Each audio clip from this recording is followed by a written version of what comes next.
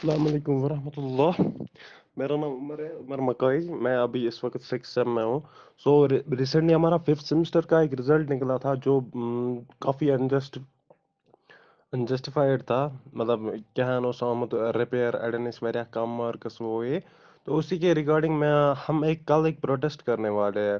तो मेरी ये मैसेज सब तक पहुंचाना क्योंकि कल हम प्रोटेस्ट करेंगे कॉलेज के बाहर एग्ज़ाम के बाद।